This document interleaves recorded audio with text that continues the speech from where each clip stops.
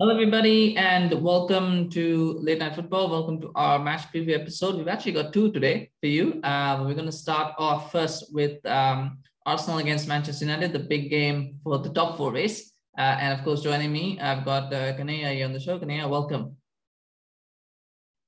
Thank you. I think we've been, we've been we've been doing a lot of one-on-one, but this is this has been nice to kind of go back and doing something together. Mm-hmm. Yeah. Well, I mean, you know, one on we'll be doing the single, the individual ones. I would say one on one. Yeah. Yeah. Yeah.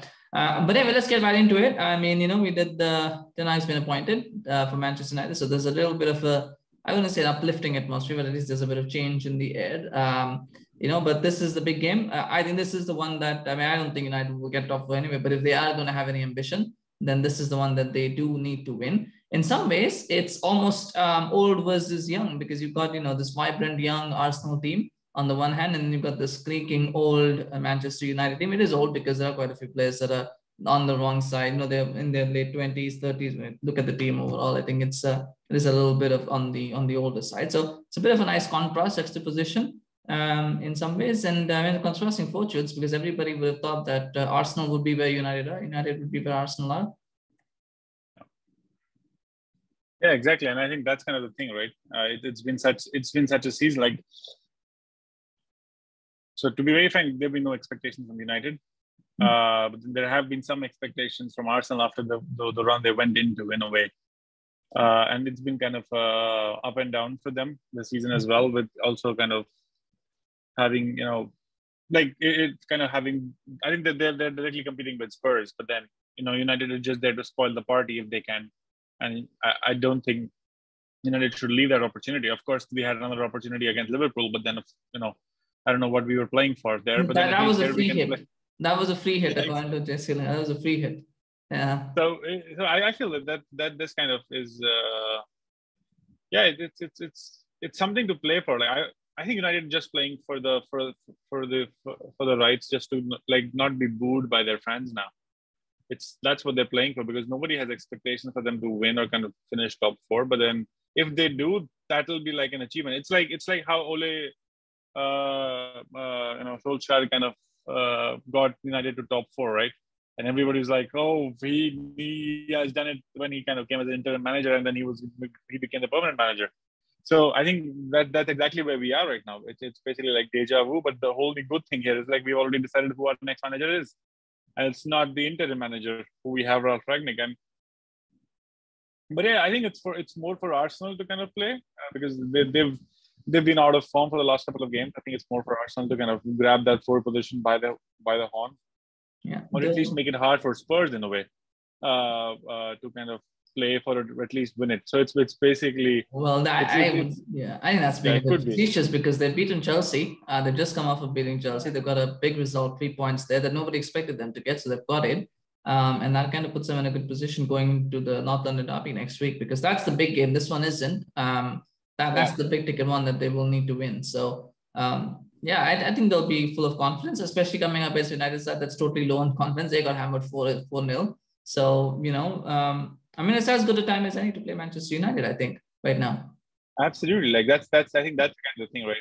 Like that's been the whole season. Like anybody can beat Manchester United right now on a, on a good day. Like and and United has done bad, proven that that it is possible. It's not that you know we're just kind of making claims here that United is that bad. I'm I'm very sure a lot of fans from the other clubs are just basically oh shut up you just you, you know you know United fans have just lost their mind and they're not they're not they don't see the real picture. You've said brilliant. I'm not denying we have we don't have brilliant players. I'm saying we have brilliant players, but then they're not been performing, and you know that's the reality. United can be beaten by anybody in the Premier League right now on on their day, and I think Arsenal coming back from a, such a strong win against Chelsea, a kind of thumping in a way, mm-hmm. uh, and you know, and United kind of just reeling out of uh, four 0 uh, defeat to, from Liverpool, and then not kind of performing to what so I, I won't be surprised if Arsenal just kind of steamrolls it. But I but the thing is with United, you don't you don't know what version of United you get as well, right? You know, um, uh, it's good to know that Ronaldo is back. I think we have Varane back coming in, and there's some news coming in that Varane will be also playing. Varane is so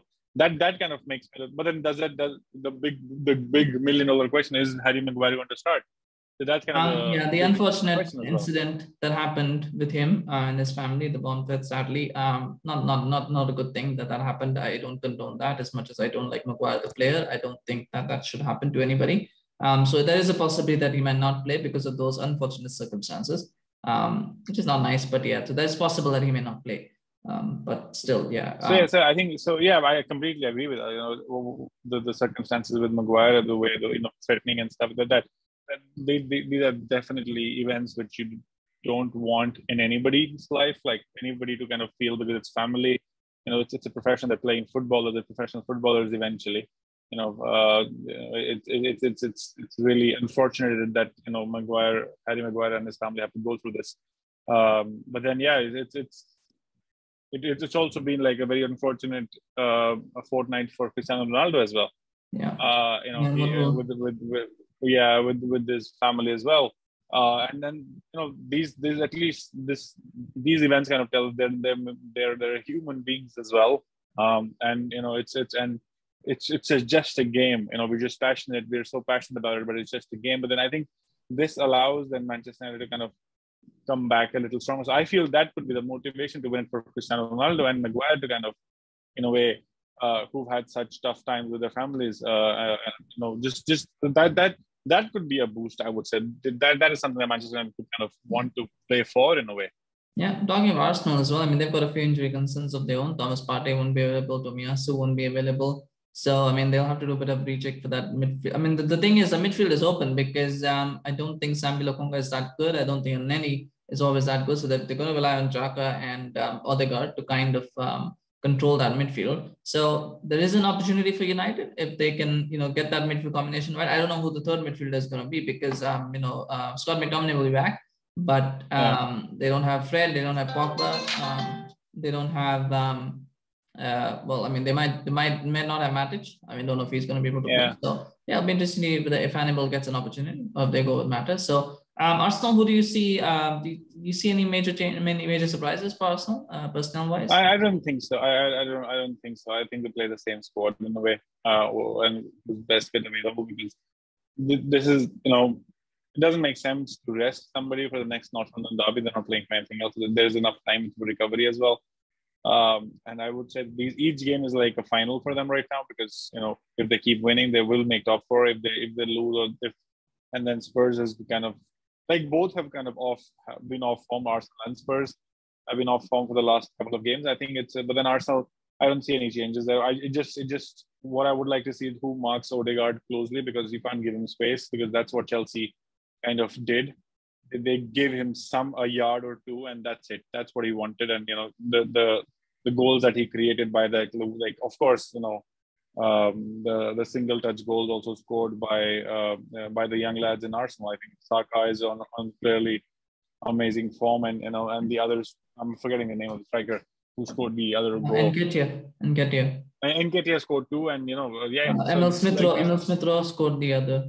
Exactly, and that's what I'm talking about. The, the touch that he kind of gave him and he scored from the first touch. That was a brilliant goal, I would say. So that's kind of two yards given to Odegaard. That's what he does. I think that, and but I think these young boys know that Odegaard can kind of uh, uh, can can provide, can deliver the passes. Yeah. They just need to be sharp enough to kind of get them. I, I think so. I, I it's, it's I think it's going to be a clear, easy Arsenal win. Uh, What's the score prediction? I think it's 2 0 Arsenal. Mm, yeah, I, I, yeah, um, 2 0. I might be 3 0 as well. Um, I'm thinking 3 0 as well. Could be. I mean, the way they played against Chelsea, um, yeah. If they play that way, then yeah, that should be an easy win for, for Arsenal. So yeah, I'm going. I mean, they were just very good. They were just very very good against Chelsea. That exactly. not, will, will they repeat that performance? That's the million dollar question. But if they play to that level, then yeah, it could be a, a rout in some ways because yeah, but uh, could be 3 0, could be 2 0, could be 3 0. But yeah, it'll be an Arsenal win. I think is what we're going with. Yeah, um, yeah I mean, you know, we'll, we'll, we'll be here with the match reaction for that one. So, you know, stay tuned. Let us know in the comment section. What do you think about uh, the Arsenal game? What do you think is going to happen? Do you think United have a chance? Do you think Arsenal have any weaknesses that could be exploited? Let us know in the comments. We obviously love hearing from you. Uh, please do remember to subscribe to our channel on Facebook and on YouTube and even on Instagram. You can also follow us on Instagram. So do remember to, to, uh, to subscribe to our channel. We always appreciate your support. Uh, and uh, we'll, of course, be bringing more content. We've got one more match preview coming for you later today. So please do stay on the lookout for that. In the meantime, though, have a good day or night, whatever time you're watching this. And we'll see you again very soon. Bye-bye.